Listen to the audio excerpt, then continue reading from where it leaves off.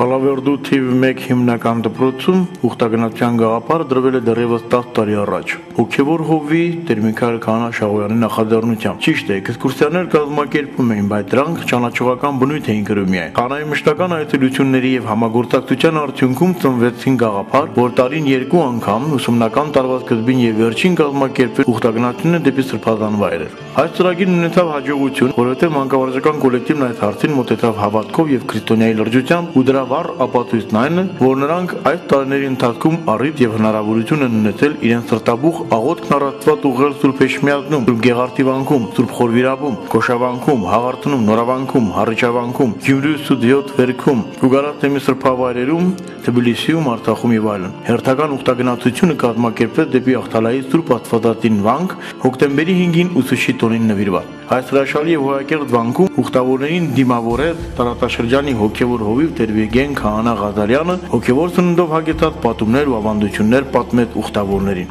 Այնուհետև ուխտավոր ուսուցիչները հոգեվոր հայրերի հետ միասին ընդհանրական աղոթ քնչեցրեցին առածված, որ Տերն անցածան բա իրենց հավատքի եւ ուսուցչի առաքելության մեջ, որ ամենակալ Աստված օրհնի մեր մայր հայրենիքն ու մեր մայր եկեղեցին։ Դիվան Գուգարած թեմի